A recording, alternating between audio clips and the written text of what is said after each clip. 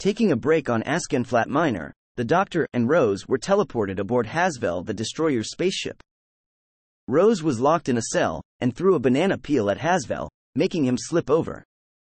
One of Hasvel's cannons blasted a hole in the bars of Rose's cell, freeing her, and Rose pointed the hologram projector at the Doctor, unwittingly creating hundreds of duplicated projections of the Doctor.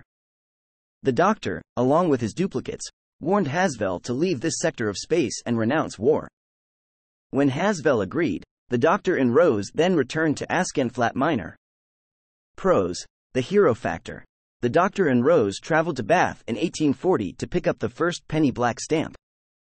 They discovered the inkers at the printing presses had been hypnotized by a hobothy, who intended to use the ink in the stamps to channel its hypnotic powers. Rose pushed the hobothy into a printing press, and the hobothy was crushed by the press operator Thomas Scott. The doctor explained that without the hobothy, the ink was now harmless. The doctor then sent a letter Rose wrote about this adventure to Rose's mother with a squashed hobothy stamp on the envelope. Pros Stamp of approval. Rose discovered a Slitheen scout in a funfair who, after trying out the rides, planned to make a twisted version of the fair where humans would be hunted. The Slitheen chased Rose down a waterslide, where at the bottom, the doctor had filled the water in the pool with vinegar from a chip van, causing the Slitheen to explode. Pros No fun at the fair. Intending to see Elvis Presley at the Ed Sullivan Show, the doctor instead ended up taking Rose to Muswell Hill on the eve of Queen Elizabeth II's coronation in 1953. When they discovered people had been mysteriously taken from their homes, the doctor and Rose did the domestic approach and went on house calls. At the home of Eddie and Rita Connolly and their son Tommy, the doctor found Grandma Connolly's face had been completely removed. Tracking the origin of the Connolly's television set to Magpie Electricals to confront the owner, Mr. Magpie, Rose had her face in essence consumed by the wire as part of her plan to use the coronation to become manifest. Before it could do this, the doctor transferred the wire into a videocassette, which he planned to record over, restoring everyone, including Rose and Grandma Connolly, back to normal. TV, the idiot's lantern. Jackie called her when the Xeris invaded Norwich. She thought that the Xeris looked weird and that the drones were important for something. Upon entering the mothership, she scrambled and released the force field in which the captured humans were trapped. She was later captured by the Xeris and used as a bargaining chip. Rose tried to raise Jess Elmore's self esteem and stopped her mother, Marge Elmore, from bullying her. Audio Infamy of the Xeris. The doctor decided to take Rose to Slough to visit a telescope.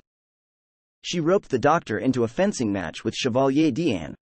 After traveling to Christopher Dalliard's house, she spent her time trying to find the aliens that the doctor had located.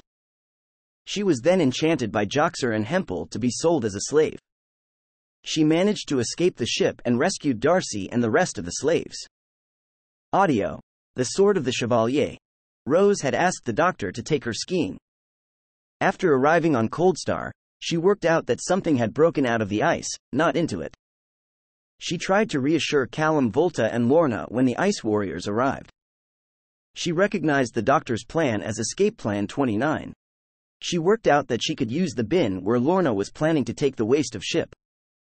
Using the pirate wreckers, she piloted it to Callum Volta's ship. She explained to Brona Volta how her son died. After Haskor died, he set his suit to self destruct and clamped onto her. The doctor managed to unclamp her and throw the bomb out of the TARDIS. Audio Cold Vengeance.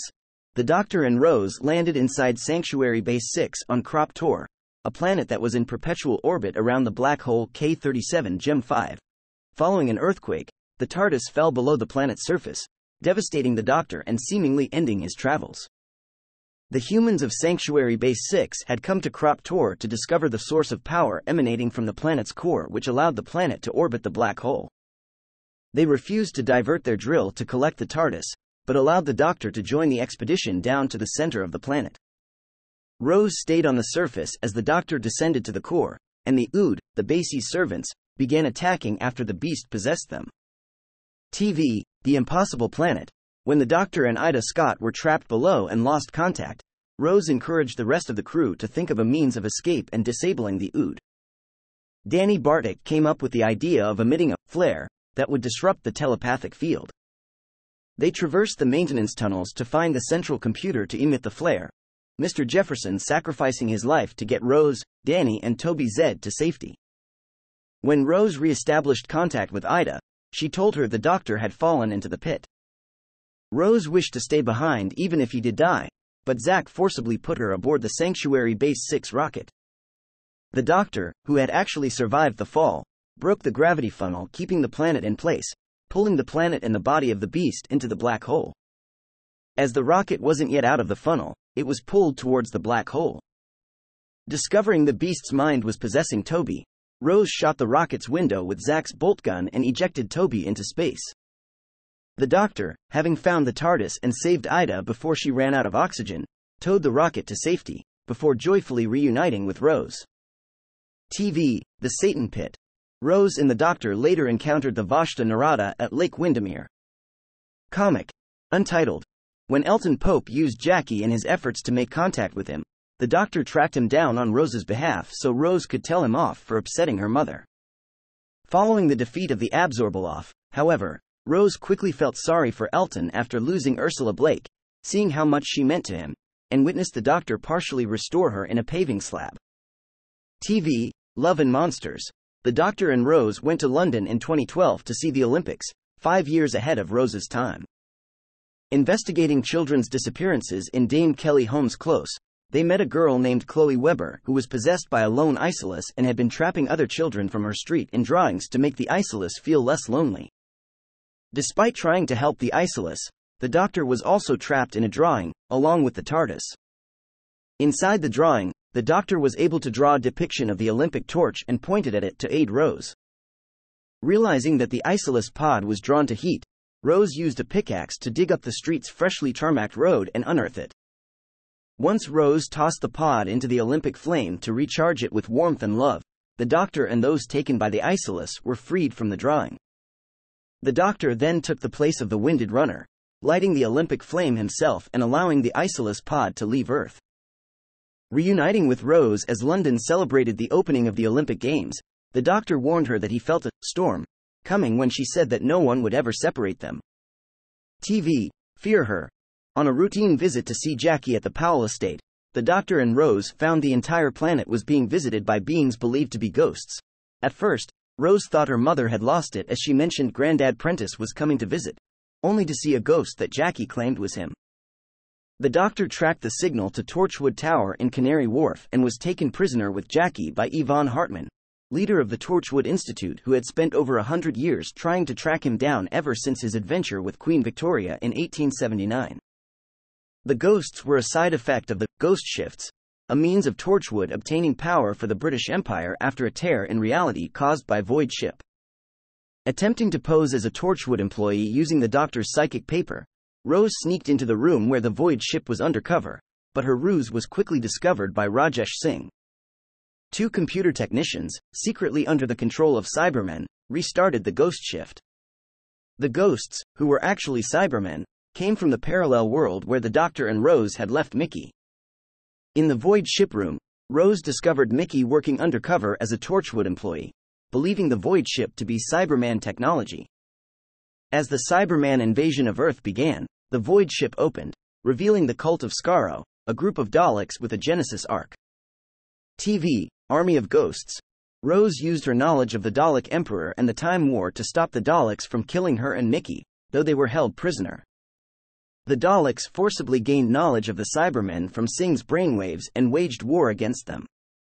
With the help of a short alliance with the Cybermen and the Preachers, the Doctor, along with the Pete from Pete's World, rescued Rose and Mickey from their imprisonment by the Daleks. In the confusion, Mickey accidentally opened the Genesis Ark and released millions of Daleks, though the doctor claimed he did them a favor as opening it by force would have blown up the sun. The group then saved Jackie from being upgraded by the Cybermen, and Rose witnessed her mother and father reunite at last. To save both dimensions from annihilation and defeat his two deadliest enemies, the Doctor planned to open the void. This would suck anything covered in void stuff into it and seal off the two universes for good. Realizing that Rose was also covered in void energy, the doctor sent an unwilling Rose, along with Mickey, Pete, and Jackie, back to the parallel Earth, where they would be safe. Rose, however, refused to leave the doctor. Knowing she would never see her family again, she returned, though the doctor protested. Rose simply told him that she had made her choice, a long time ago. Together, they opened the void and the Daleks and Cybermen, along with the Genesis Ark, were sucked inside. The plan initially went smoothly until Rose's lever malfunctioned, threatening to halt the operation. Rose secured the lever, but couldn't hold on and was almost pulled into the void herself. She was saved at the last second by her parallel father and taken back across to the other universe, separating her from the Doctor forever. TV Doomsday